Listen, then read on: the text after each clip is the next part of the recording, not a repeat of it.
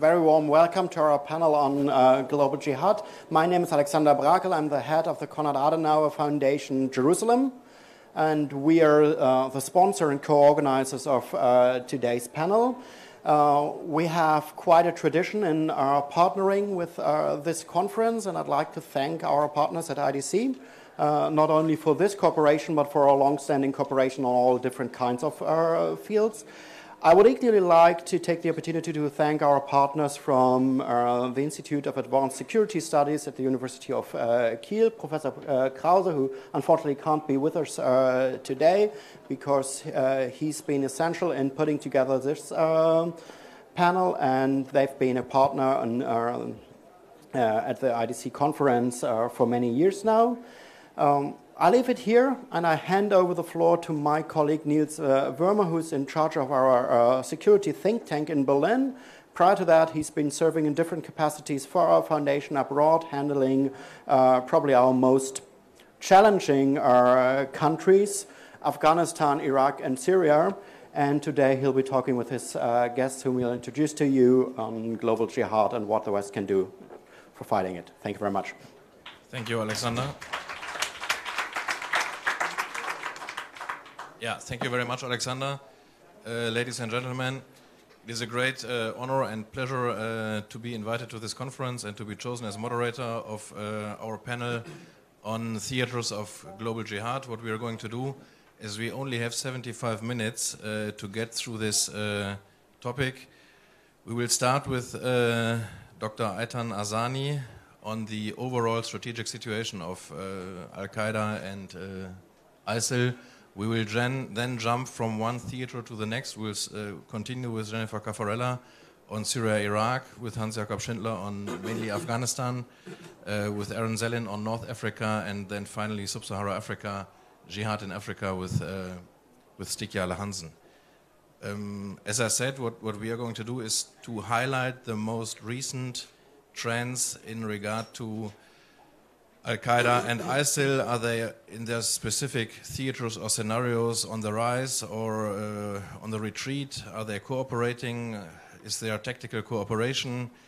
How did the military defeats in Syria and in Iraq in 16 and 17 affect the organizations? What did change in terms of ideology, propaganda, strategy, maybe recruitment and finances? And uh, as I said, uh, Dr. Uh, Azani, who currently serves as Director of Research of the Institute for Counterterrorism, so our host organization, he will start and kick it off with an overview of uh, strategic situation of Al Qaeda and uh, ISIL, please. Thank you very much. What I decided to do is to start with the, uh, a process that the two organizations work through. This is the process that I called it, and the entire community called it from centralization to decentralization. And trying to understand the process of centralization to decentralization in Al Qaeda at the beginning, and then going to understand pro this process within ISIS. The main and the first major difference between these two organizations that for Al Qaeda, this process took more than 15 years. For ISIS, this process took around four to five years. So the differences between two different uh, organizations. If we see the process of, uh, you can stop me whenever you like, okay. Don't look at the beginning. Wait, wait a minute. When you start to see the situation of uh, Al Qaeda from the beginning, they started this process of deradical, decentralization in 2001 after the 9 11 attack and they uh, established during the years what we call the jihadi front in different parts around the world. Started with the jihadi front in Iraq, continue with AQIM in the Maghreb, continue with AQAP in uh, Yemen, El Shabaab on Africa soil, then the uh, Indian subcontinent, until the lately they have uh, developed uh, another uh, groups in Kashmir and Hayat Tahrir al-Sham and Khurasadin on uh, Syria soil. Meaning they were in a process of building a jihadi front many, many years, and this jihadi front operated, most of them operated as more independent uh, areas of operation. The second level that they entered, they were connected to affiliated organizations that they have a local agenda, like take for instance Lashkar-e-Toiba that carried out the Mumbai attack. They changed their situation from being local to being uh, global. The next component that we can say regarding uh, Al Qaeda building this uh, global network is uh, Al Qaeda build uh, cells or, if you want to, network, terror networks all over the world in different areas around the world to build capabilities, to launch an operation uh, in different areas around the world. And the last component within these building capabilities, this is what uh, uh Al Qaeda uh, did, inspired lone wolves, homegrown in different uh, areas around the world. So we have a long process that uh, Al Qaeda was uh, in, and they are still within this process until uh, today, more than, as I mentioned before, more than 15 years in this, uh, building this kind of process. When it comes to Al Qaeda, they have some problems of command and control because are, when you are building a global uh, capabilities, you need to build command and control system at the beginning, it was bin Laden until he died. Then it was the Zawahiri that he had the problems of uh, lacking uh, a leadership capabilities. And then what we find out that the next generations or the first generations of the jihad, those that they were the founders of Al-Qaeda, most of them were killed. Uh, and even Hamza bin Laden, the guy that they want to uh, one day replace bin Laden, also killed. Meaning Al-Qaeda has problems of command and control. And what they did, they mediate on these problems of command and control by publishing policy strategy of Zawahiri from time to time to the clip, and by inspired different groups to uh, end cells to carry out an attacks, and the, the people that were uh, on the field, uh, meaning the leaders of the theaters of jihad, were more independent in their uh, operation. So this decentralization influenced the capabilities of Al-Qaeda, recruitment uh, capabilities, delivering the ideology, promoting the propaganda uh, of the organization uh, outside uh, the uh, area of operation. And we need to remember that headquarters, meaning the uh, leadership of Al-Qaeda is not in the Middle East, is more, most of the information they said that these are operating in Pakistan, Afghanistan areas. So they, are, uh, because they were decentralized, they use a different technique to deliver their uh, messages and deliver their ideas and carried out some kind of operation. We call it today the opinion leaders teams. They build the capabilities of people that deliver the messages of the organization. This is uh, uh, Al Qaeda that they face some problems to uh, adopt the new technologies like ISIS.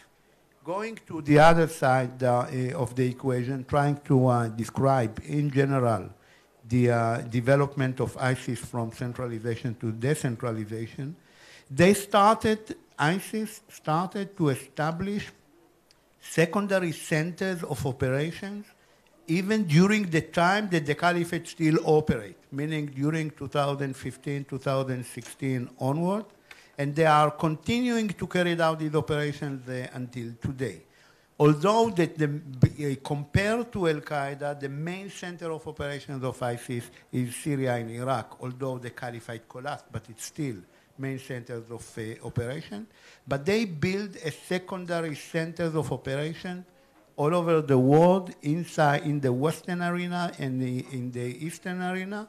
And today we are talking about uh, at least 13 provinces of ISIS that are operating in different parts around the world. And they use the Al Qaeda system to establish uh, a, a, classic, a clandestine terror network in every place around the world, to uh, establish clandestine cells, and to inspire homegrown and lone wolf operations in a different uh, areas. They have a short process of uh, regrouping globally after they had uh, the collapse, and their command and control is better than the command and control of Al Qaeda, and based on a new technology, the use of the new technology, the understanding, they understand how they, they to use this uh, new technology, and you can find out within their publication that they have connections to every area of operation and they publish uh, their data uh, in, in uh, their media outlet operation. Recruitment, ideology, propaganda promoted by the headquarters of the organization and by the supporters. i stop here and I give the. Thank you very much. Uh, thank you, Dr. Azani. You already mentioned the the different wilayat uh, of the of the so-called caliphate, and uh, we are now going to to focus a bit more on the on the core of the caliphate and uh, the allegedly uh, effective command and control structure that it still uh, has. Jennifer Cafarella is the research director at the Institute for Study of War. She has been focusing on Syria and Iraq for a couple of years. We are looking forward to your presentation. Great. Well, thank you uh, and thanks to ICT for having me here today. Uh, I'm going to be brief because we could do Syria and Iraq for all 75 minutes, uh, and we can't. Uh, so I will start with ISIS and give the overview of our assessment at ISW, and then transition and say a few things about Al Qaeda, um, and hope to get more into that discussion uh, to follow. So we published a report recently at ISW on the ISIS resurgence across Iraq and Syria, uh, which we've been tracking very closely during the counter-ISIS campaign. Um, but what we actually did was we re-baselined our assessment after the fall of Mosul and Raqqa uh, and took a conservative approach to asking how much combat capability did ISIS actually retain after the loss of those major cities because we didn't want to carry any assumptions about what ISIS would be capable of actually after losing their de facto capitals in both countries. The reason I mention that is because the assessment that we have, I actually think is a conservative estimate of the ISIS strength across Iraq and Syria. And that conservative estimate actually reflects a deliberate ISIS decision after losing those cities to morph back into an insurgency in order to regroup and ultimately go back on the offensive across both countries. The phase that they're in now is the regrouping phase. They are reestablishing command and control, they're rebuilding their sanctuaries or their safe havens where they're conducting logistics operations, recruitment, training, et cetera uh, in a manner that actually has been accelerating across both Iraq and Syria. The geographic zones where ISIS has been reconstituting the fastest is along the disputed internal boundaries of Iraq, exploiting security gaps that emerged after uh, the takeover of Kirkuk and the subsequent uh, crisis in Iraqi Kurdistan. And on the Syrian side, we've seen an ISIS reconstitution the fastest in the Syrian desert in the Badia surrounding Palmyra. Uh, in those areas, ISIS actually has demonstrated that they've not only reestablished effective tactical units, but they actually are campaigning at the operational level. So they have effective uh, command and control. Uh, Baghdadi has actually reasserted control over the, the elements that dispersed after the fall of Mosul and Raqqa. Um, and he actually conducted an internal purge to ensure that his organization would remain loyal to his uh, ideological agenda, but also that he could reestablish and re elevate capable military commanders within his organization for the, the phase that would follow. So we are seeing them rebuild networks of vehicle borne uh, IEDs in both Iraq and Syria, where they're detonating VBIDs in liberated areas. Thus far, the intent that we assess of those VBID attacks is primarily to demonstrate to the population that ISIS is still here, that it is still capable, and that it does intend to resurge. That is having a very important psychological effect. Because the counter ISIS coalition has been very successful in taking down the physical caliphate, which is the mission that it was tasked with, but has been far less successful in actually enabling the uh, constitution or reconstitution of capable governance structures to replace the Islamic State. So, in the absence of capable governance, we know groups like ISIS already intend to resurge and actually have an opportunity to exploit a lack of services and a lack of adequate security in liberated areas. On the Syrian side, we do have an ISIS resurgence in areas that the Syrian Democratic Forces control. But we also see ISIS expanding further westward, where they have claimed attacks in Deraa and Damascus against the Syrian regime. And they are going hard, actually, against Al Qaeda in Idlib province, which is perhaps the biggest threat, actually, to ISIS's legitimacy at this time. The Al Qaeda affiliates in Syria, there actually are a number of Al Qaeda linked groups in Syria. That has always been true. Al Qaeda's objective has always been to guide a diverse jihadist movement inside of Syria to replace what was originally a pro democracy rebellion against Bashar al Assad with a global jihad. One of the Al Qaeda linked groups, Hayat Tahrir al Sham, which I do still regard as an element of the Al Qaeda network, is governing Idlib province. This doesn't get a lot of media attention. It actually should. They are implementing uh, at varying levels across Idlib, but they are implementing their view of religious governance. And ISIS is attacking Idlib in order to discredit that governance, which actually does undermine ISIS's religious legitimacy, especially at a moment when we have taken down the physical caliphate and they cannot claim to be governing in Iraq and Syria. That Al Qaeda movement is concentrated in Idlib with Hayat Tahrir al Sham governing, and other groups like Haras al Din using that safe haven to actually plan and attempt to execute attacks in the West. But Al Qaeda is not limited to Idlib. We also actually have indications of Al Qaeda, for instance, claiming attacks. Hayat Tahrir al-Sham has claimed at least one attack that I'm aware of in Deir ez-Zor province, where Jabhat al-Nusra, the original al-Qaeda affiliate, had operated in the past, indicating that al-Qaeda is at least attempting to reestablish networks in areas that ISIS had held and that we have liberated from the Islamic State. I don't think that that yet is a very serious campaign with momentum from Al Qaeda, but it certainly has the potential to be that given that the Syrian Democratic Forces has actually struggled to retain the allegiance of Sunni Arab tribes that participated in the defeat of ISIS, but aren't necessarily actually bought into the military and political structures that have replaced the Islamic State. So there are opportunities for Al Qaeda there. I'm conscious of time, so I'm gonna I'm gonna hand over here in a moment. But I do also want to emphasize that the Al Qaeda movement in Syria has always claimed the most legitimacy because of its role against Bashar al-Assad. So the Russian-enabled campaign against Idlib province, where Russian special forces actually have taken over a very large combat role, is actually accelerating Al Qaeda's consolidation in Idlib. And it actually will likely stimulate the renewed, the, the resurgence of Al Qaeda insurgent activity far behind defensive lines in places where Al Qaeda has operated in the past, such as Damascus, but also potentially along the Syrian coast as Al Qaeda attempts to use that network presence to gain further legitimacy by hitting the regime hard and the Russians hard where they can, in addition to fighting hard to defend Idlib. In Idlib, Ayman al Zawahiri has released a statement asking for the various Al Qaeda linked groups to reunify into a joint military operations room. That hasn't yet occurred. It may occur. Um, and we're actually seeing that issue as a crossroads for Al Qaeda at this time. The threat to Idlib is very real.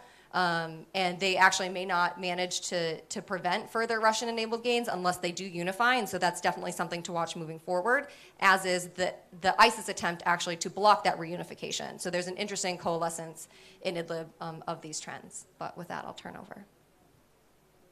Yeah, thank you, uh, Jennifer. Uh, we are going to jump now uh, more to South Asia, to Afghanistan, um, which has been on the media uh, in recent days because of the failed uh, Taliban negotiations uh, with the US government. But uh, of course, among experts, we realize that in particular the Khorasan province of, of ISIL managed to survive there against tough resistance. Dr. Hans Schindler, senior director at the Counter Extremism Project, based partly in New York and partly in Berlin, and the former head of the Sanctions Committee of the United Nations on Taliban, Al Qaeda, uh, and ISIL, is uh, going to explain us why the Khorasan Vilayat was able to survive until now. Thanks, Hans. Thank you so much, and uh, I just want to acknowledge my the actual coordinator is sitting right across from me, and we'll hear from him after this panel. Uh, so I will invite you to to definitely listen to that presentation. It's obviously a great honor to be here, and um, when I was asked to do Afghanistan, Pakistan in in less than five minutes, I thought this is a real interesting challenge, and so I'll try. I'll try to explain this as much as I, as I, as I can. Um, so let me start with the newcomer on the scene. Uh, you know, this is the old uh, uh, global jihadi headquarters here, and the newcomer is actually, in fact, ISIL. And the leadership of ISIL uh, in Iraq and Syria built this affiliate very purposefully for two reasons. Number one, ideologically, um, the terminology Khorasan that they use is a very important uh, uh, ideological part of the story that the narrative that they tell, but they also um, saw the building up of a, as an affiliate in Afghanistan, Pakistan, as uh, a good opportunity to challenge Al Qaeda on its home turf, where it, where it uh, uh, started to exist. Therefore, um, it did a little bit of a different strategy, uh, only repeated in Libya, um, when building up an affiliate. Usually, it took the loyalty of a group that already existed or a faction that spread away from a group, like in, in, uh, uh, in Somalia with Al Shabaab. Uh, here, they actually sent emissaries in 2014 who traveled through the country, six guys, um, to establish, to collect information, establish alliances, collect intelligence, and then only in January 2015, once they felt comfortable enough, then they announced the existence of ISIL Khorasan. So it was a, a central-led built up of an, of an ISIL affiliate, and that's why this ISIL affiliate is one of them that they're not going to give up uh, very soon. Until the military pushback, by the way, uh, uh, started in earnest uh, um, in 2016 and then beginning 2017, ISIL in Afghanistan got significantly financial support because it was such an important affiliate in, on a regular basis from ISIL core. That, of course, has, has ceased since uh, um, they uh, uh, got pushback in Iraq and Syria. But the only other affiliate who got this on, in, in that amount and, and so regularly was ISIL in Libya, in fact. The high point of the presence, of course, was uh, by ISIL uh, in Afghanistan was achieved in 2017, where they not only had part of eastern Afghanistan a significant presence, but also in the north a, significant, a significant presence. And since that time, the combined pressure of the Taliban, the international community, and the Afghan security forces, all of which went up against ISIL in the north, uh, meant that in 2018 their presence simply ended. They all surrendered, um, um, to, to partly to the Taliban, partly to the government. Um, so they failed in establishing a northern presence, uh, presence. They also failed in establishing sectarian tensions. Yes, they do regular attacks also on Sufi targets and uh, on Shiite targets in, in Afghanistan, but so far, luckily, they haven't been able to reunite the, the sectarian agenda in the way that uh, uh, uh, Zarqawi did very skillfully in Iraq. So it's not a sectarian conflict yet. But in my assessment, ISIL in Afghanistan is far from defeat. Uh, you have to understand everyone in the country at some point or the other was against uh, uh, ISIL and fighting against them. They're still there. Yes, the situation in Iraq and Syria negatively affected the group, in particular since they're no longer getting the finances out of ISIL core, but they still are in communications. So I agree with uh, my predecessor uh, uh, speaker um, that there is effective command and control still, at least as Afghanistan is concerned, from the from the core. Luckily, the initial fears that now that Iraq and Syria, uh, the battle is over, all the remaining four, or many of the remaining foreign fighters, in particular from Central Asia, would now, you know, religiously congregate in Afghanistan is not materialized. So rather than hundreds or thousands of, of uh, uh, FTFs coming in, we saw a low three-figure number of, of uh, uh, people arriving from uh, Iraq and Syria at a very, very slow phase. Um, the second factor, which I think allows a sustained uh, presence of ISIL in Afghanistan, uh, apart from the attention that the core pays uh, to it, is the connection to Pakistani groups, m- chiefly among them the Tehrik-e-Taliban Pakistan, TTP, and the Lashkar-e-Taiba, uh, which forms some kind of strategic hinterland for the group across the Pakistani border, which makes it difficult for everyone to actually sustainably hit the group. Um, Finally, the ongoing negotiations, and I, you know, always being on the optimistic side, I'm only dealing with Afghanistan since 2001, so you learn to be optimistic to survive. I think there will be continuing negotiations with, uh, with the Taliban among uh, within the Americans, and there may be a potential agreement. However, this will mean nothing for ISIL. In fact, it will actually fuel recruitment of ISIL when the agreement is done. Last time there was a serious leadership challenge within the, the Taliban movement was when uh, finally the death of Mullah Omar was announced and Mullah Akhtar Mansour declared that he's been actually running the show for the last two years. In that situation where there was a disagreement and disagree, the, the, the, any potential agreement with the US will create disagreement with the Taliban, immediately you had breakaway factions like the Mullah Dadullah Front and the Fidain Mahas who just went out and said we have nothing to do with this Akhtar Mansour guys. Something similar well, is very likely to happen. And then the only other place where they can find a comfortable home will be ISIL. So the agreement with the Taliban will increase uh, uh, very likely the recruitment for ISIL. Um, finally, let me now address the Al Qaeda structure, the ones who've been there all the time. And it's important to understand we are not talking about a Al Qaeda structure, we're talking about four Al Qaeda structures in Afghanistan. First of all, you have Al Qaeda core, very small numbers, act as, uh, at most, as advisors to the Taliban, as trainers to the Taliban, and of course, then the leadership group around Zawahiri, who we all hope this time they actually are in the Afghan Pakistan border region and not some built up urban area inside Pakistan. Um, then you have all of the groups linked in Afghanistan to Al Qaeda. The most famous ones are, of course, the Islamic Movement of Uzbekistan, who more or less self-destructed when part of them uh, joined and the other part tried to, to stand on their own. So they went from several hundred to less than a hundred. And then you have the uh, Islamic movement, Turkmenis, uh, Islamic, Isla East, East Turkmenistan Islamic Movement, sorry, ETIM, which is the, the Uyghur movement in Afghanistan with about 400 fighters. So this is the second group, which are part of the Al Qaeda network, but act independently from what Al Qaeda core does, and actually stand under the direct command of the Taliban. And then finally, uh, uh, the third one is the Al Qaeda in the Indian subcontinent, this new affiliate that Zawahiri very skillfully announced just when the uh, uh, Islamic State was on the rise in Iraq and Syria as a clear propaganda coup saying, you do whatever you do in Iraq and Syria. We just announced an affiliate for the, the biggest part of South Asia that no one has taken care of yet, Al Qaeda in the Indian subcontinent. And finally, you have the large network of Pakistani groups, Lashkar-e-Taiba, TTP, Lashkar-e-Jhangvi, and many others who operate inside, uh, in, inside Pakistan and create a quite a uh, uh, serious security threat for the Pakistani government, who, who tried with several military operations. You had Zarb-e-Azb between 2014 and 16 and Rat ul Fasad since 2017 to push at least the fighters across the border into Afghanistan to reduce the pressure. But there are limits of what the Pakistani government can do, in particular now that the Kashmir situation is, is heating up again. So they will not be able to completely end the presence of these groups without risking a civil war. Therefore, um, this situation is not at all affected by the, by the situation in Iraq and Syria. So while currently the Al-Qaeda network of groups in the region seems not to be able to take advantage of the pushback against ISIL core in Iraq and Syria, so they're not getting bigger or smaller, it seems equally clear that the situation in the region will continue to provide these groups with ample opportunity to continue their operations. Unfortunately, this source of terrorist instability in the region will likely remain fairly untouched by any potential agreement by, uh, between the Taliban and the US and the government of Afghanistan. Similar to ISIL in Afghanistan, breakaway factions of the Taliban may provide fresh impetus also for the Al Qaeda network.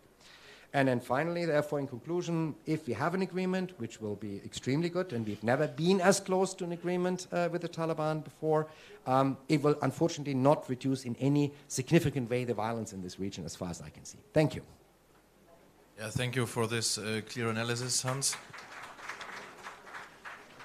We are going uh, to shift our focus now from Asia to Africa, and uh, as the first speaker on, on Northern Africa, we have uh, Dr. Aaron Zelin from the Washington Institute for Near East Policy. He's author of the book or forthcoming book? Forthcoming. Forthcoming book, Your Sons Are at Your Service to Tunisia's Missionaries of Jihad this is why we asked you to explain us of what's going on in Northern Africa.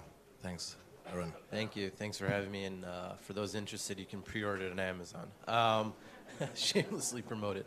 Uh, in terms of uh, jihadis in Tunisia and North Africa more broadly, um, you know, uh, for once I actually have some good news. Uh, usually when I'm doing talks about jihadis in general, it's usually bad news, but um, I actually have a positive story to tell today. Uh, so I would argue that we're probably at the lowest point in terms of capabilities of jihadis in North Africa since the 2011 Arab uprisings. Um, uh, of course, uh, they're still stronger now than they were pre 2011, but it's nowhere near where it was uh, nearly a few years ago. Um, uh, so I think that that's something to that's good. Uh, so what happened and why why are we at this point? Um, one of these things is related to the anti ISIS campaign, and I'm not talking about the one specifically in Iraq and Syria, but the one in Libya.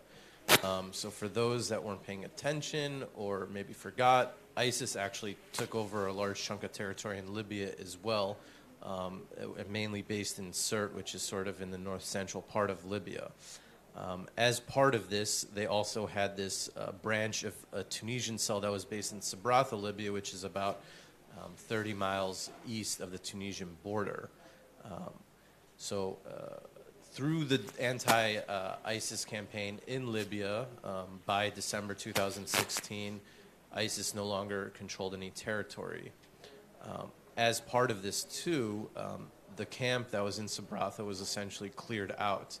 This camp was responsible for the external operations that took part in uh, at the Bardo Museum in Tunisia in uh, March 2015, the Sousse beach attack in June 2015, as well as the attempted takeover of the town of uh, Ben Gardane uh, in March 2016, um, which itself is a town that has had a lot of foreign fighter recruits from Tunisia that went to Iraq um, about 15 years ago, and then more recently uh, in Iraq and Syria, as well as Libya for that matter.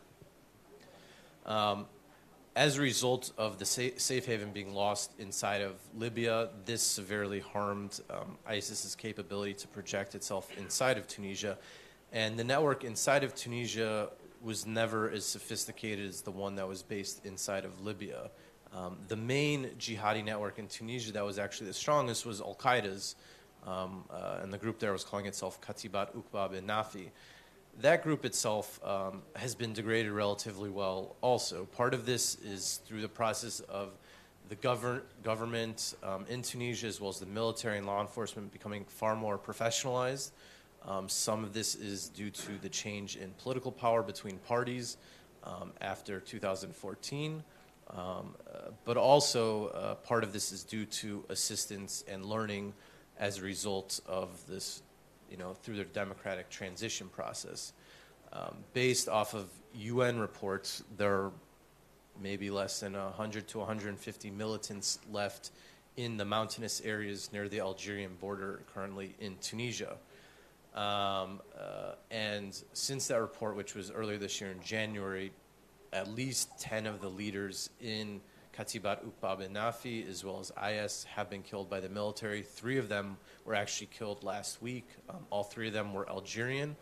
Um, this is part of the story of why Katibat Uqba bin Nafi has never really been able to break out in parts of Tunisia, um, since much of their leadership has actually been Algerian and not Tunisian, and therefore are not from the local milieu. Um, others is related to the fact that, unlike other Al Qaeda branches, which has tried to reach out to the civilians and try to build up social services and some governance.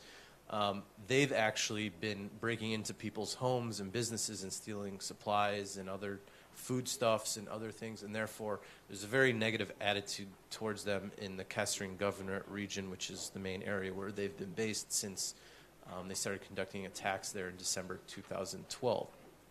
As for Libya, um, you know, one of the things that many who follow it thought would occur was that there would be some kind of rebound at some point in the same way we saw with ISIS in Iraq in 2012, 13, and 14 um, in the aftermath of their territorial, territorial loss in Libya.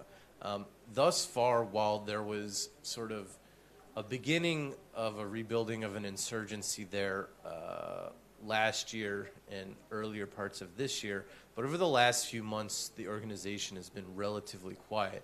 It is true that they put out a video that's been part of a broader um, series of videos that IS has conducted from various elements in various parts of the world to renew their pledge of bayah to Abu Bakr al Baghdadi.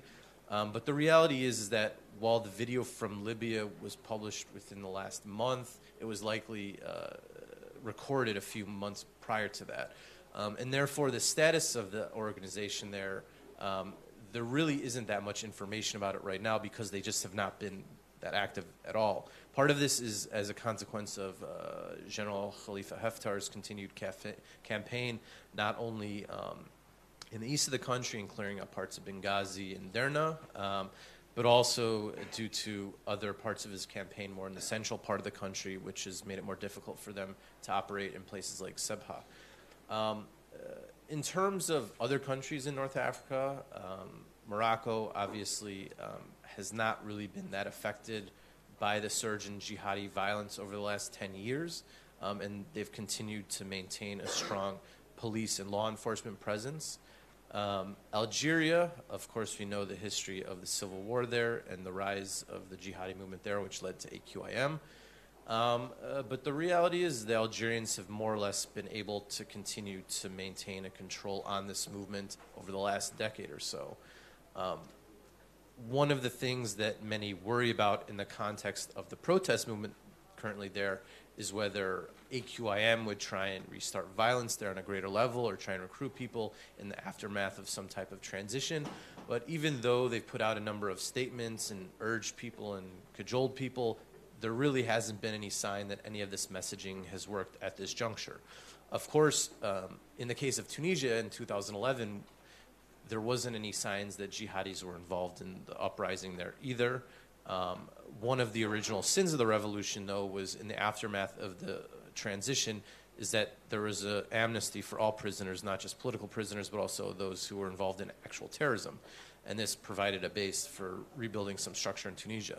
So if I was Algeria and they do shuffle some decks in terms of the political leaders, obviously the process has been a lot slower and longer in Algeria in comparison to it only taking about three weeks in Tunisia. Um, one advice would be do not release jihadi prisoners, even if they were arrested or taken under an authoritarian regime. If you're worried about the rule of law, then retry them. Don't just let them out and see what happens next because we already know what will happen. Um, and I would say something similar to Sudan, though that's not technically North Africa per se. Maybe um, can touch upon that at all. But similarly, we haven't seen any signs that they've been able to take advantage there as well. And I don't know if I've speak, spoken for five minutes, so I'll leave it at that. Yeah, thank you, uh, Aaron. Thanks for this uh, analysis. Uh, finally, the, uh, our first round, we are now focusing on the probably biggest region uh, in terms of size, Uh, Sub-Sahara Africa. Uh, Professor Stig Jarle Hansen uh, from the Norwegian University of Life Sciences is head of the IR program over there, has been focusing on Africa for decades with a strong focus on, on Somalia, He's author of the recently published book Horn, Sahel, and Rift Fault Lines of the African Jihad. And we are very much looking forward uh, to your presentation, Stig. Thank you. It's a big pleasure of uh, being here, although having uh, the obligation to speak about a quite a serious uh, topic. Um, I would have wished that I had uh, such uh, good news as the fellow on my side here. Uh, I, my news are a little bit more stable and a little bit more negative. If you look at uh, sub-Saharan Africa, you can say that there are some general lines that we should keep in mind. Uh, also, when it comes to the uh, tension between the Islamic State and the Al Qaeda affiliates basically the Al Qaeda affiliates that were there before the rise of the Islamic State, they have proven themselves to be stable and loyal towards Al Qaeda Central. Uh, they have also proven themselves to be rather locally focused. Uh, so, if they, for example, hit that Western or indeed uh, also eh, they have a potential to hit that Israeli target, it will be in a regional level. It will not be that they, for example, hit in Western Europe, but they can hit Western targets at a regional level. Um, there's a lot of uh, talk about these uh, more stable affiliates as being on the decline. I can tell you that they are not on the decline. Um, if you go to the Harakat al Shabaab, for example, today uh, they are better able to tax inside Somalia than they ever were before. Uh, Mogadishu, it's supposedly controlled by the government, but uh, Shabaab taxing is widespread. We can also see that they put up alternative systems of governance, even within the city of Mogadishu. So they have alternative courts, etc., etc. So the Harakat al-Shabaab today, I would uh, deem, are more rich. They are richer and financially stronger than they ever been. Uh, they have been pressured militarily uh, but traditionally, Shebab have provided themselves with some kind of refugee in the countryside. Uh, when they are exposed to a military offensive, they usually withdraw, and uh, nobody uh, actually uh, provides security to the local villages, so they will prey upon the local villagers. Uh, and this is seen in many African cases, in fact. So local security has been an essential lack in the past. Some of you might have read that there is a big government offensive going on in Shabayle. Uh, no, uh, my suspicion is that you will have the same situation, that they will probably win some of the local battles, then they will withdraw from the villages, and the Shabab will be able to tax at local level and integrate with the local villages. There's also a standing tension in Somalia between um, between the Shabab and uh, also uh, not the Shabab, but the government and the regional states. Uh, we have seen a tendency over the last one and a half year where the government is actually uh, removing uh, opposition And uh, these have grown into a conflict that has uh, clan dimensions as well. And we see now that the Shebab can ride on this and uh, recruit amongst the disgruntled clans. So this ensures some stability. On the positive side in Somalia, it seems like the Somali army have been getting slightly better. And there have been some pressure from the American offensive there. But as I said, you know, Shebab inside Somalia are richer than ever. And uh, secondly, uh, on the more positive side, is the Kenyan efforts and the Tanzanian efforts to strike down on related networks in their country. And it seems actually that Kenya and Tanzania have been relatively successful in striking down. They also had a large returning foreign fighter problem that has been neglected by the world. Uh, basically, a lot of uh, Kenyans and Tanzanians fought within the Shebab. Uh, the amnesty regulations in the two countries have been rather unclear, but there have been progress in the counter-terrorist work inside the countries. And uh, it seems like they are stronger now, although they had this uh, Dusit attack in Nairobi. It was handled much better than, for example, the Westgate attack. So the region around Somalia is growing stronger. But for the people who claim that the Shebab is on the decline, ladies and gentlemen, I ask you to be a little bit skeptic towards that claim. Um, if you go to the older, long-standing Al Qaeda network in the sub-Saharan Africa, which is basically the JNIM, uh, JNIM resembles the Shebab a little bit in one sense. It's, uh, it's more of an alliance, but it's based around older Al Qaeda structures. Uh, and JNIM is in a phase that leaves it slightly weaker than Al Qaeda, but it has some kind of potential. Uh, it still is able to implement operations in northern Mali. It has been a lot of talk about uh, JNIM expansion into the central Mali region, the Mopti region. And uh, this may be illustrating another point when it comes to discussing West African jihadists. Basically, the tension between uh, local uh, farmers and local nomads that is sometimes taken advantage of by jihadists. But still, this conflict between local farmers and, and uh, local herders are dominated by just uh, local conflict dynamics in Mopti. So the uh, jihadists haven't fully taken over the conflict dynamic yet. It's still ongoing, and still ethnic tensions are perhaps more dominating than uh, jihadists. What is to be watched when it comes to JNIM, and that's rather serious, it's signs that you have some kind of JNIM expansion into Burkina Faso.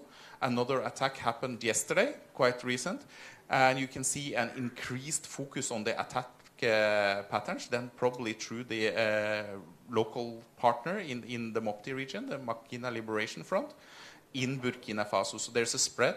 And we should also uh, keep in mind that one of the local uh, jihadist leaders in Burkina Faso have been quite strong and eloquent uh, when he talked about the Islamic State. So there seem to be some kind of sympathies within some of the local ranks there against the Islamic State. But these two uh, older affiliates of Al Qaeda have been stable and uh, have prevented basically Islamic State infringements. If you talk about Shebab and you talk about JNIM, the Islamic State uh, basically affiliates, which is uh, the Islamic State in East Africa and the Islamic State in Greater uh, Sahara, are basically on the fringe. They are on the periphery. They are just being allowed to exist, very heavily pressured by the uh, Al Qaeda affiliates, and I would say are not really impressive in structure. They are kind of struggling. Uh, where the Islamic State had some successes in Africa were with the jihadist organizations that weren't affiliated with Al Qaeda, basically Boko Haram in Nigeria, but also the kind of mysterious, it seems, uh, allied de democratic forces inside Congo. Uh, and Allied Democratic Forces uh, is a very strange movement, and uh, in fact, it's more research on that organization has been needed, uh, is still needed, in fact. Um, it's one of the oldest. It was established as early as in 1995 around uh, uh, Ugandan, uh, basically Salafists and a local insurgency organization in the mountains in the border between Congo and Uganda. And it seems like their inclinations towards jihadism have varied over time. You know, at times they've been relatively secular.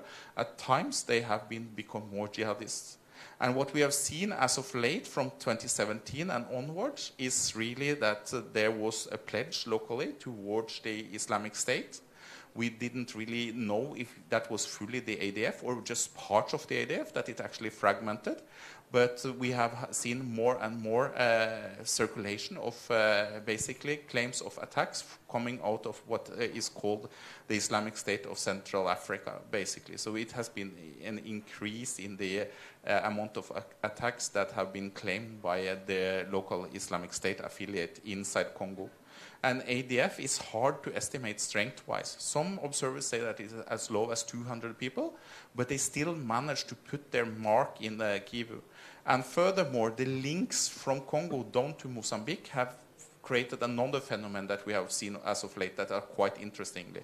Basically, the Islamic State in June claiming one attack in Mozambique, and uh, it's clearly it's a, a, new organization in Mozambique, Al Sunnah wal Jama'ah, who is in existence.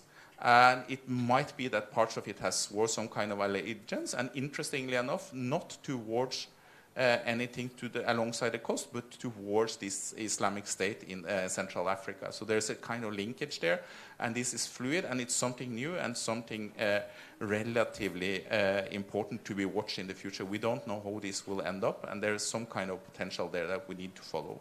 Inside Nigeria, that we spoke about during the last session, we saw that there was uh, some kind of uh, uh, regional cooperation and that uh, the remains of the Boko Haram, the two organizations, uh, Shekau, uh, Abu Bakr Shekau's fraction, who is located closer to the Sambisa forest, still is relatively friendly towards the Islamic State, but not accepted by the Islamic State and the so-called Barnawi fraction, Islamic State in uh, Western Africa, basically, who is fully accepted by the Islamic State.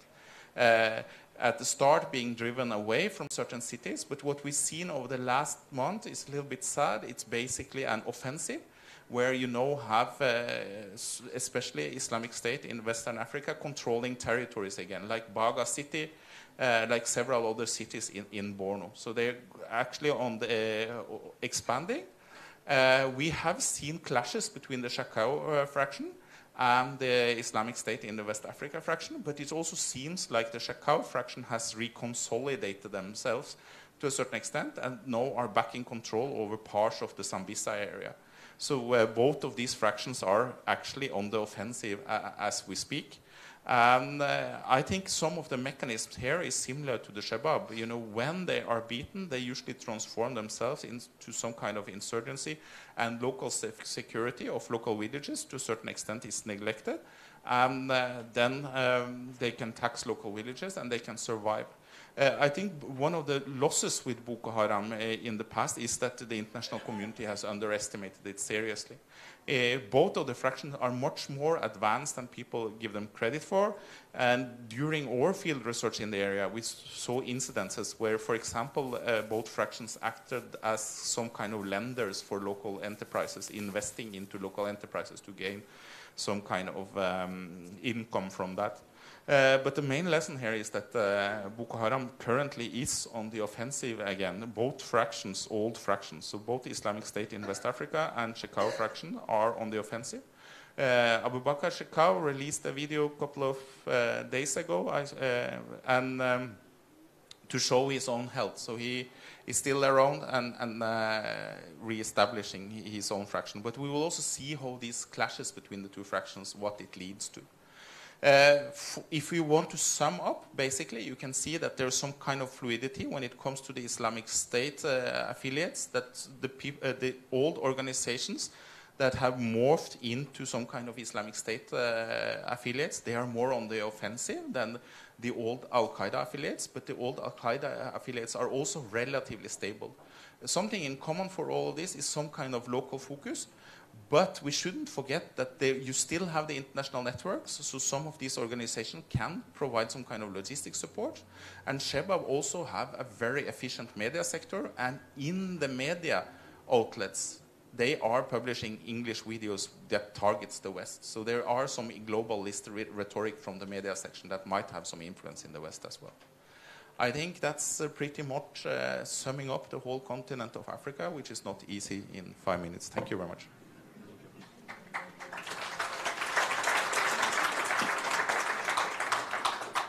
Yeah, thank you, Stig, for this sound analysis. Ladies and gentlemen, we have some 21 uh, minutes left, and uh, there, there's many aspects that we could discuss now in more detail, but I would like to, to focus on one particular aspect that we might have indirectly touched already, but uh, not that explicitly. And this is as uh, Western societies, uh, there is still a strong thirst for reducing our involvement in Afghanistan, in Iraq, uh, to, to get out of there, and the question of what, what might uh, happen then. And uh, one, one question for, for our decision makers in, in, in, Europe and, of course, in the US is which of the affiliates is the most dangerous one? Is an Al Qaeda or ISIL attack in Europe or the US likely? Do they still want to attack us, or is this priority number whatever right now? And my first question, of course, in this regard, would go to either Dr. Azani or uh, to, to, Hans uh, Jakob. Um, is Al Qaeda and uh, and Daesh now uh, occupied with, with other priorities, uh, or uh, what what do we have to expect in this regard? What would you recommend European or U.S. decision makers where where to focus on, where to have an eye on? Is it Yemen? Is it Libya? Is it still Afghanistan or Syria, Iraq? If we, if we could address this, would be. You, you want to start? Please. Yes, I want to start. And uh, my view is that uh, work assumptions of every security agency or every state that these organizations, Al Qaeda and Daesh, want at the end of the day to uh, enforce Islam all over the world. This is the vision. If this is the vision, you need to build your capabilities to counter this uh, vision on one hand and to deal with every component of the vision on the ground. Because at the end of the day, what we are doing in most cases, we are dealing with a phenomenon that already in process. And uh, if I look on the situation, uh, let's say for instance in Europe during the last uh, year and a half or two years, there is a high decrease with the phenomenon of terror attacks in Europe because uh, a lot of uh, reasons to this decrease. It doesn't say that the global jihadists decided that they are not focusing now on the uh, Western societies or to uh, operate in this field. So for every security agency, uh, the work assumption should be we need to address every threat from every angle of these organizations because they don't want to stay in a place, in a peaceful place, you know, only in the Middle East or in their tribe. What they want is beyond it. We saw it with the caliphate that we surprised how they fast they establish a caliphate and what is the idea. We saw it with the uh, uh, seven phase strategy of Al Qaeda that in the eyes of Al Qaeda in 2020 they will rule the world. So this is is always within their strategy. So we need to be prepared. We need to uh, be able to see all the levels that bring people to this field, meaning taking radicalization process from the early phase, because these people, at the end of the day, can operate on the Western arena and can operate also in the Middle East. This means, from your point of view, the, the threat is reduced but not over at all. The threat is reduced. This is a very nice way to say it because if I'm now, you know, in a security agency, I say it is reduced. Let's take my power to another angle. The, the threat is still there, and we need to be prepared. And, okay, please. Yeah. So, uh, briefly on uh, the Al Qaeda front. Um, ISIS is still in, intends to attack the West. They're continuing uh, to resource those efforts. Um, but I think the Al Qaeda aspect of this in Syria is important uh, to keep into focus. It has become sort of vogue to perceive Hayat Tahrir al Sham and Abu Muhammad Jolani as having gone local and therefore as less of a threat to the West because they're not immediately planning attacks. And I think that this is a very big mistake. Um, I think it's actually a bit naive to assume that this organization has meaningfully changed its long term view, which it certainly has not, and to underestimate the threat of allowing Abu Muhammad al Jolani to continue to be the leader of the most capable military force fighting in the most internationalized war on earth. He does have a long term vision to create an Islamic emirate inside of Syria. It is, in his view, a essential requirement for the global jihad, which he is knowingly fighting. Al Qaeda in Syria through Hayat Tahrir al Sham, not just Hurras al Din, is conducting global foreign fighter recruitment. We don't talk about this enough. They're actually focusing very actively on recruiting fighters from Germany. And they've sent out a call not only for new mobilization inside of Syria and not only for new foreign fighters to come to Idlib to fight the Russians and the Assad regime and the Iranians, but they've even put out a call for Syrian refugees to return, to participate in the jihad. Hayat Tahrir al-Sham claims that this has already begun. This is, a, this is actually a sea change, in my view.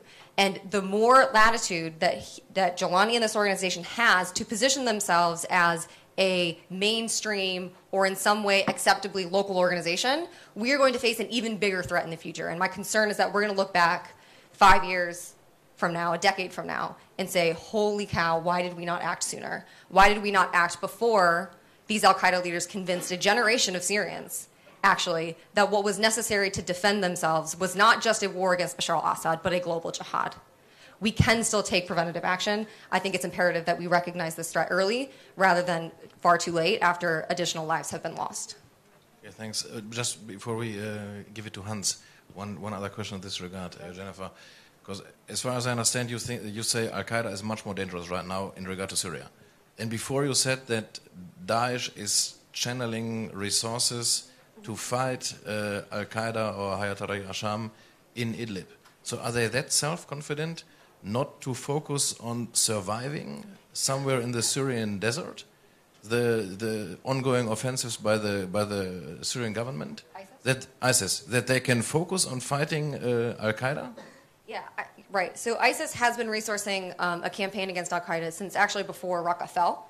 Um, actually, since they entered Syria, ISIS has been trying to edge out Al Qaeda. They are confident enough, actually, to devote resources to Idlib. I have my suspicions about who might be enabling that campaign in Idlib, which does benefit the Russians and the Assad regime by weakening defenses in Idlib. Um, but yeah, ISIS is actually quite strong across Iraq and Syria. It's not gaining that many headlines because time is on their side, ISIS is, and they know it. Um, but they are targeting Idlib in part, I expect, to try to outcompete Al Qaeda for foreign fighters. Um, and because Idlib is connected to the Turkish border and provides ISIS thereby an avenue um, into and out of Syria that is more difficult for them actually to achieve farther east.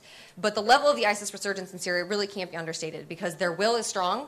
Um, they, they're keeping a relatively low profile, but they're going hard against the regime in the central Syrian desert to enable that campaign against Al Qaeda in Idlib. Will that disrupt Al Qaeda? That remains to be seen. Um, ISIS is imposing costs. It's possible that that fight will heat back up. Um, but unfortunately, Syria is a target rich environment for ISIS, and they gain traction by attacking a variety of enemies simultaneously. The, the former Europe attack network uh, maintained by, by ISIS in Syria, what about this one? Sure. So, from what we can tell, there is still elements of the external operations wing inside of Iraq and Syria. I don't think um, this is actually a good question for further study, but I don't think that ISIS is prioritizing using Iraq and Syria to continue to support the global attack network. We actually have indications that ISIS shifted outside of Iraq and Syria external attack nodes to places like Libya, to Afghanistan, to Somalia, um, in order to diversify that footprint and actually thereby reduce the vulnerability that they had in Iraq and Syria to prioritize the new insurgency in that terrain and leveraging their global presence actually to sustain the, the global attack network. Could you add on this, please? Right, yes. So, I mean, there are two aspects to keep in mind. First of all, groups like the Islamic Movement of Uzbekistan and the East Turkestan Islamic Movement have these names for a reason, right? So, there is no local focus on Afghanistan. This is actually um, all uh, seen as a hinterland for eventually moving up north. So there is a clear continuing regional threat. The second point, until the, uh, the, the, rise of, of the Islamic State, a significant amount of discovered and foiled and actually happening attacks in Europe uh, had some links back to Afghanistan. So there was always this attempt to, to conduct uh, uh, attacks in Europe. This may research, right, now that, that uh, the more comfortable, easier to travel to, better uh, accessible uh, training camps in Iraq and Syria are no longer accessible. This is certainly a second option. It's the harder country to, to travel to. at the moment, as I said, luckily we didn't see this great, huge track of foreign fighters going back to Afghanistan. But that doesn't mean that the intention of Al Qaeda in Afghanistan has changed in any way. That this is about attacking the West. It's not about attacking um, uh, the, the, Afghan government primarily, or even the Pakistani government primarily. It's about primarily carving out a safe space to conduct the global jihad as much as possible. So while I wouldn't see a immediate threat, um, it really depends on the level of control that the Afghan government can maintain with the help of the international community in Afghanistan. Um, that will determine how much the threat is. Um, because it's very tellingly that the one thing the Taliban consistently continue to refuse is what normally should be the easiest of all uh, of all uh, demands from the international community, if they are really believing that they not want Afghanistan to be a haven for, for global terrorism, is to separate themselves clearly with these words from the Al Qaeda network. That's the one demand the Taliban continue to, uh, to, to, to, deny. And um, I'm keeping suspicious why this is so incredibly hard for them if their, their, their statement, which they make instead of it, saying we will not allow Afghanistan to be to be uh, used as, as a haven of global jihad. Well, the, why don't you separate from the leader of global jihad then, vocally and publicly? And that's what they refuse. So there may be some questions on, on the believability of that statement by the Taliban. Thank you. Yeah, um, I think the most positive news came from, from you, Aaron. Is there no threat to Europe from deriving from North Africa, please?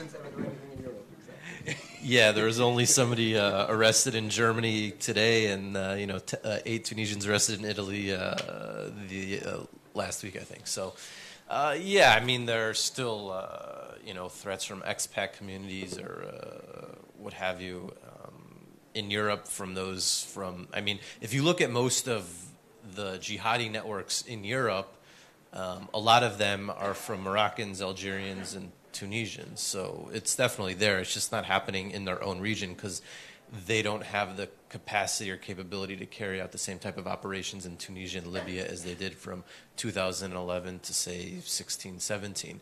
But if you look at uh, the history of the movement from North Africa prior to 2011, a lot of their activity was actually in Europe. So I wouldn't be surprised if you continue to have it. It just won't be sort of formalized under a group name necessarily, but more networked approach or small cell type of approach. Um, so uh, it's definitely not there. And if conditions change in, say, in Libya, which is certainly possible, as we've seen things change there rapidly over the last eight or nine years on a number of occasions, um, you know, IS was directly involved in the Manchester attack and helped guide um, uh, the the truck attack in uh, Berlin on the Christmas market.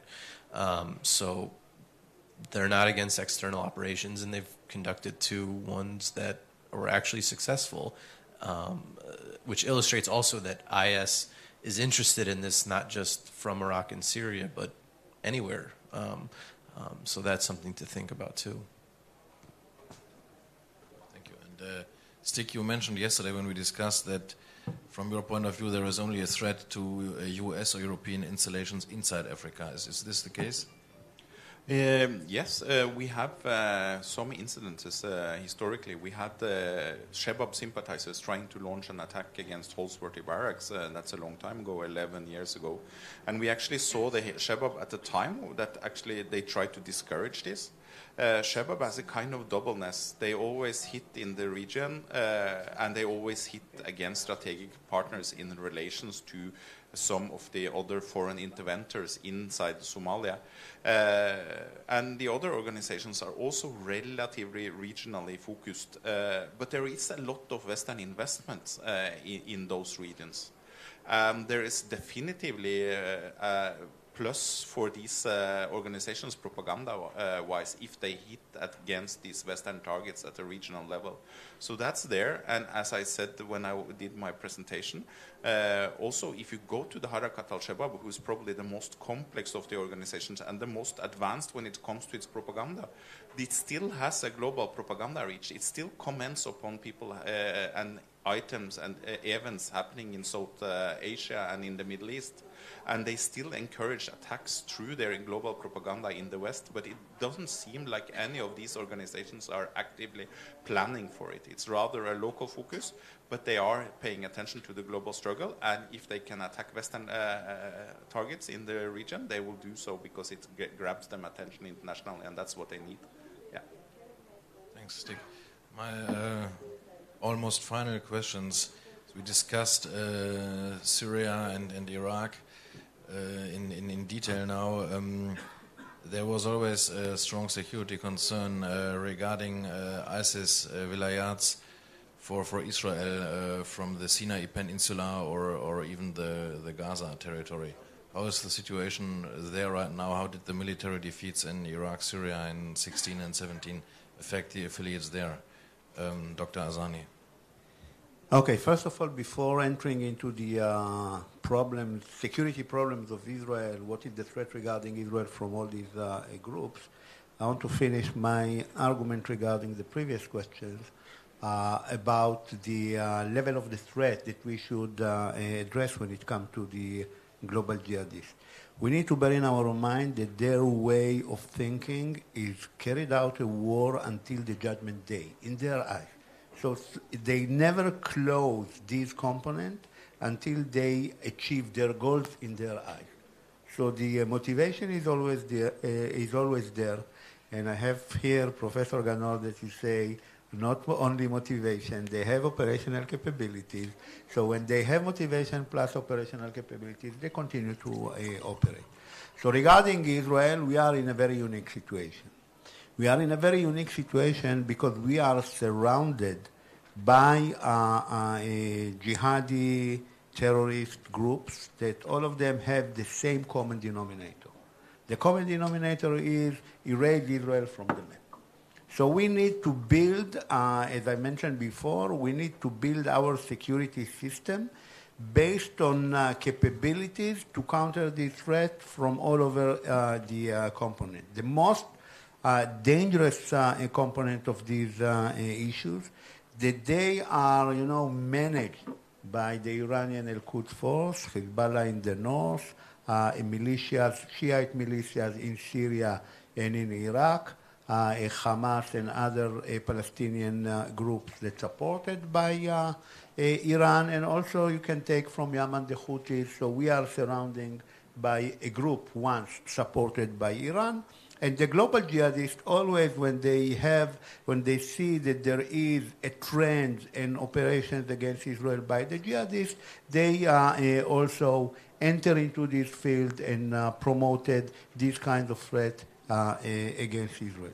So from the Israeli side, you need to build your capabilities to counter and to uh, secure your borders in the north, your borders in the south, uh, Uh, infiltrating uh, uh, groups from uh, during these borders to carry out an attack in Israel. So it's the idea is uh, and to understand and to build a different a structure of plan against different enemies because the global jihadist is not the same threat like Hezbollah, because Hezbollah has the missiles and the global jihadist is operating in a different way. So you need to be prepared to protect your land from different uh, threats and different kind of threats. Okay, this is our situation. Until now, we are doing it uh, very well. I hope that we will continue. Thank you, thank you very much for uh, for this uh, final assessment in regard to Israel's uh, security again. To my own surprise, we managed to be somehow in time. I would like to thank our brilliant speakers once again, uh, in particular for sticking to this very neat timetable. Thank you so much.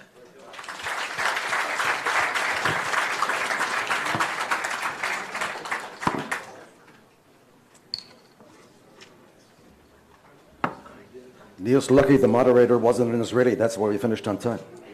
Okay.